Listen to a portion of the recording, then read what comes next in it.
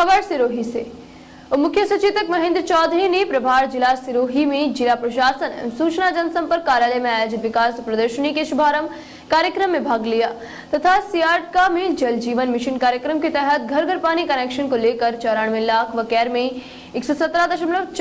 लाख की स्वीकृत योजना का लोकार्पण कार्यक्रम में शिरकत की व पावापुरी गौशाला का निरीक्षण कर गायों को गुड़ खिलाया तथा नदी में श्रवण, फैम प्रसिद्ध संगीतकार श्रवण कुमार के देहांत पर उनके गृहनगर सिरोही में आयोजित शोक सभा में शिरकत की। कार्यक्रमों में मुख्यमंत्री, सलाहकार, विधायक संयम लोधा, विधायक समाराम गरासिया, प्रभारी सचिव पीसी किशन, जिला कलेक्टर भगवती प्रसाद सहित विभिन्न विभागों के अधिकारी रहे साथ।